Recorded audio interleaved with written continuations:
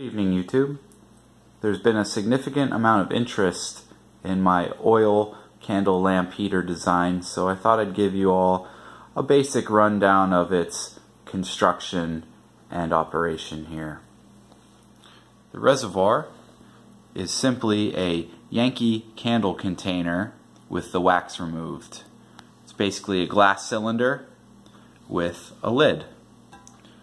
I set that into a wooden base I created with a wood lathe just to give it some added stability because it can be a bit top heavy with the terracotta pot on top.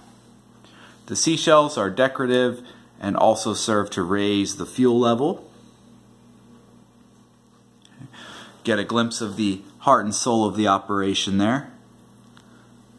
The actual combustion takes place via this glass wick holder.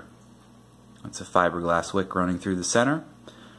I'll provide a link in the description where you can order these for your own heater design. Very effective.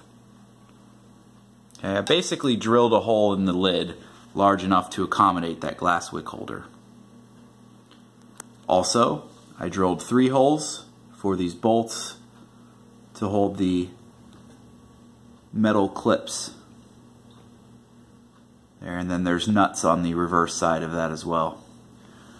Those metal clips hold the radiator unit here, which serves two purposes. Not only to trap the heat and make it tangible, but it also traps the soot. Okay, any combustion process is not going to be 100% efficient. Unburned combustion products accumulate above the heat source.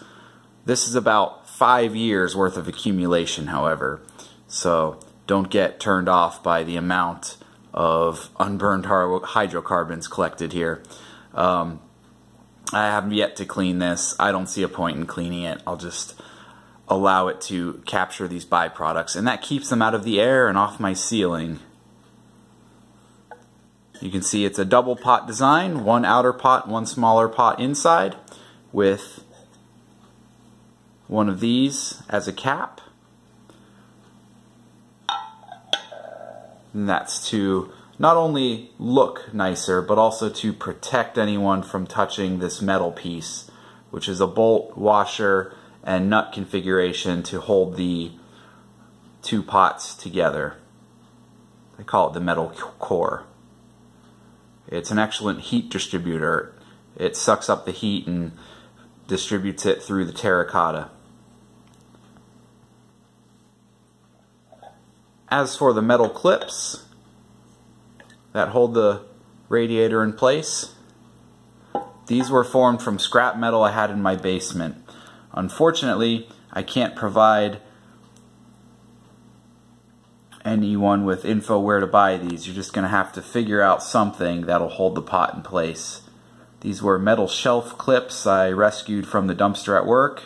And then this is a metal threshold uh, that I cut into small sections to uh, add a nice stop to hold the radiator unit in place. It works very well. Uh, you can come up with a hundred different designs for metal clips here. Um, you're just going to have to use your creativity. But it holds this in place. It makes for a very attractive looking unit. I hope this helps. And I hope some of you will build some designs of your own. It's a very nice heater for a small space or greenhouse. Um, certainly nice to have around in the winter. Thanks for watching. Check the description for a link to buy your own glass wick holder. And if you found this helpful, leave a leave a thumbs up, leave a like. I appreciate it. Thank you.